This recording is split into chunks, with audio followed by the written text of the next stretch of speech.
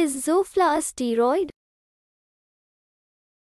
Yes, Zofla is a steroid medicine also known as glucocorticoids which occur naturally in the body.